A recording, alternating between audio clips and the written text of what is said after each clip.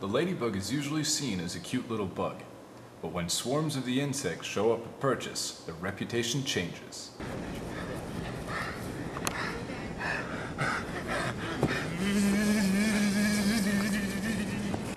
According to an email released by the Residence Life staff, massive amounts of ladybugs are released once a year.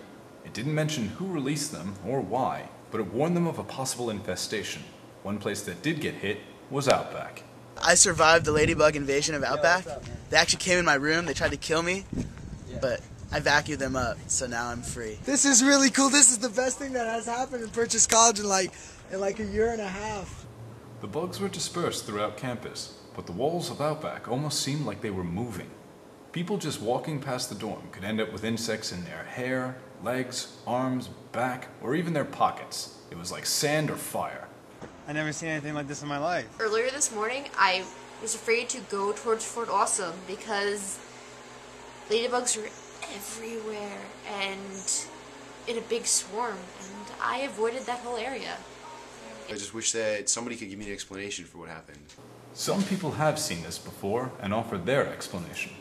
gardeners and like landscape architects they order big boxes of ladybugs to eat aphids and things off plants they, they kill the plants um, my grandfather's a landscape architect he ordered uh, a big box of them once and it broke and there was just this fedex truck and they opened it up and the whole inside of the truck was just completely covered in ladybugs it was like the coolest thing ever The bugs managed to get inside the halls and in people's rooms.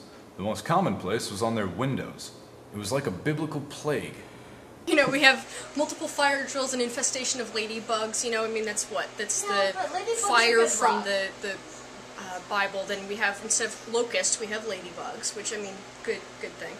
Um, so what, what else is next? We have boils. I really don't want that plague to come around. Is it a work of God? Has God punished the residents of Outback? Or is it an attempt for the ladybugs to take over the campus?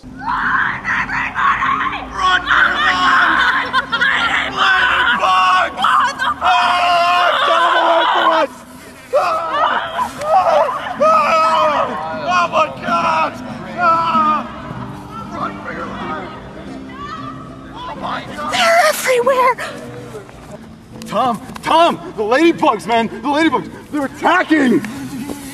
Oh. Woo! Now's the time of the ladybug! Ah! Now's the time for us to rise up. No longer will we be squished by the foot of the human bourgeoisie. We are taking over. No longer will our primate predecessors keep us down. They say we're good luck. We are not.